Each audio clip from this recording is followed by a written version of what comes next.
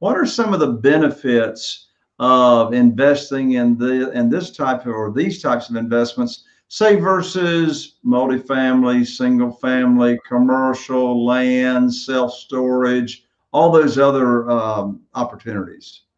What's great about this is that it's because it has become virtual and the way that it's, it's, set up you've got a consistent there's not volatility in it. And i also don't have to manage the properties. I know many wise investors like you will have property managers things like that. But as a beginning investor if you really don't have those things laid out it's a way that you can invest and have the returns that are government mandated. And I know a lot of people like to say it's guaranteed, but it's dependent upon the county where you can set the money and forget it. That's what's so great about this investment strategy is it can work with any level. We can show you how to get started with less than $100 or over a million dollars. It's great because it's consistent. It's got government mandates behind it, great chances for properties. And it's a place to park your money where it's consistently growing, just like the old adage if you don't find a way to make money while you're sleeping, you're going to work until the day you die, right?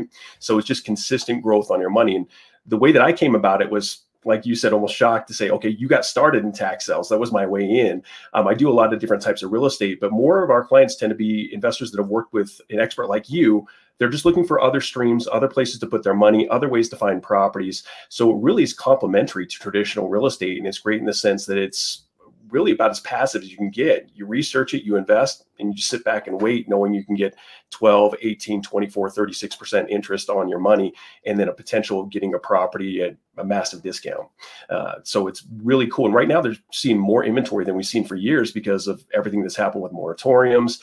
We've seen a huge explosion just in the first quarter of this year, and many much inventory. As an example, using Florida, um, they have their sales going on right now, and there's over 450,000 tax lien certificates up for sale against 58 billion dollars worth of real estate. So it's just a great secure investment as long as you do it the right way, just like anything else. You can throw money away, but uh, get the right guidance, know what to look for, and know what type of investor you are. So you know, like you always say, begin with the end in mind. What are your goals, and let's get you there.